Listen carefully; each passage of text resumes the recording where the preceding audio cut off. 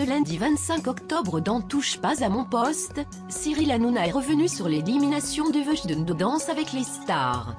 L'animateur de C8 en a profité pour faire des révélations sur la chanteuse. L'attitude de Vujden est toujours un mystère. Ce samedi 23 octobre, la jeune chanteuse a été éliminée de Danse avec les stars.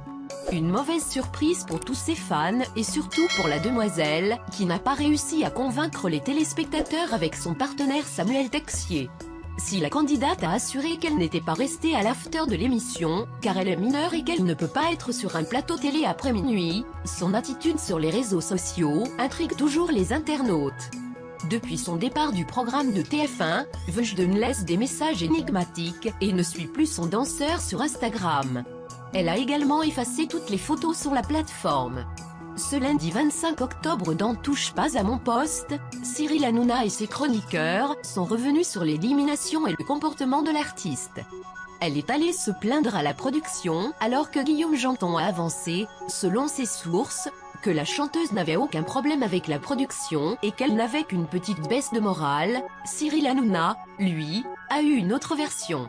L'animateur de C8 a ainsi lu un message du journaliste Clément Garin, qui a assuré que Vujden serait vraiment en conflit avec son danseur. Il y a eu un clash mardi, elle a quitté les coulisses, car il lui reprochait d'être passive et de ne plus vouloir jouer le jeu. Elle est allée se plaindre à la production, a-t-il confié. Reste à savoir si la chanteuse réagira à cette révélation. De son côté sur Instagram, son danseur Samuel Texier, lui, ne semble avoir aucune animosité envers Vujden qu'il a même remercié. Je suis fier d'avoir participé à l'émission avec toi, a-t-il déclaré. Il a également posté des photos de leur dernière prestation. Un moyen pour lui de calmer le jeu,